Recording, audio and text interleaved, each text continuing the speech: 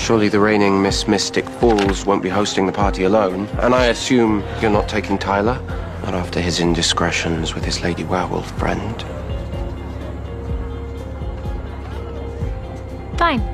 If you insist on coming, meet me here, 2 p.m.